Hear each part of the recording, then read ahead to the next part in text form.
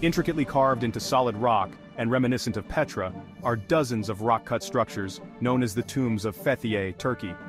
Attributed to the Lycians, the status quo is that these tombs were built around 2,500 years ago, with the basic tools and knowledge of the Bronze Age. As engineers, we challenge that narrative. The carving of such precise and enduring structures into a cliffside isn't just about manpower. From precise measurements to complex logistics, they suggest a sophistication that conventional archaeology often grossly underestimates. Achieving this level of precision and scale would be impossible with only bronze tools and wooden scaffolding. The use of advanced techniques or even lost technologies seems much more plausible. Somewhat similar to catacombs, many were used for multiple or communal burials, indicating the possibility of being repurposed, and from an even older origin. This idea, along with mainstream consensus being strongly disputed by construction experts, reminds us to stay open-minded and not so quick to close the book on history.